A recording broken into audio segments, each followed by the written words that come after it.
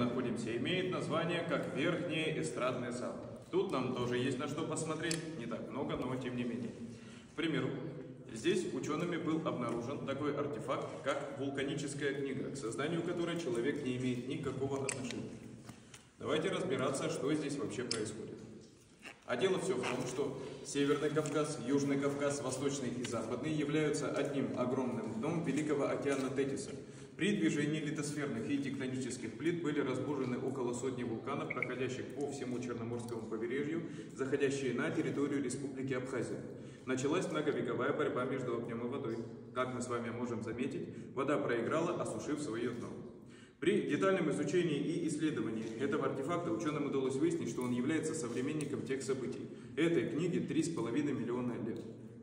Состав, если исходить из исследований преимущественно, окаменелый ил, известковые образования, вулканические породы, вулканический пепел, металлы и минералы.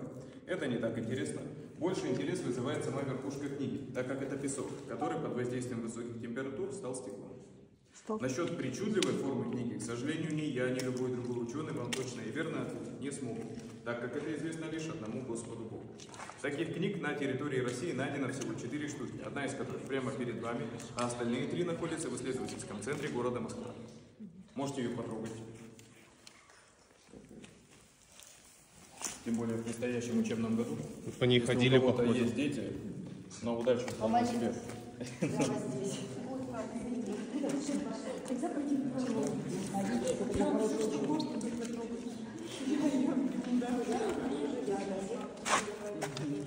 Реально стекло.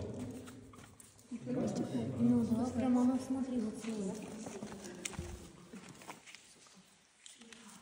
Также, дорогие друзья, прошу обратить ваше внимание на такое явление, как подземное озеро. Но что, если я вам скажу, что это всего лишь лужа, по крайней мере сейчас? Поверите? Да. Прям все поверят. Мгм. Ни один не поверит, да? Хорошо, все равно расскажу. Давайте разбираться, почему это все-таки лужа, а не озеро. Как мы с вами могли заметить, на улице довольно-таки жарко, душно и сухо, не так ли? В пещерах подчеркивают 12 градусов тепла. Здесь мокро, влажно и довольно прохладно относительно улицы. Происходят вполне себе очевидные процессы, такие как обмен температуры воздуха и обмен влажности воздуха. Происходит это все не в пещерах, а вот в таких вот карстовых полостях. То есть кислород, который вырабатывают деревья, обменивается с ионизированным воздухом, который вырабатывает пещера и запускает в пещеру конденсат. Понимаете, к чему я говорю? Озеро есть в пещерах, но летом оно находится на всей потолочной части этих пещер. Выглядит оно следующим образом. Где-то его больше, где-то его меньше. Ой, блестит, Это да. и есть то самое подземное озеро.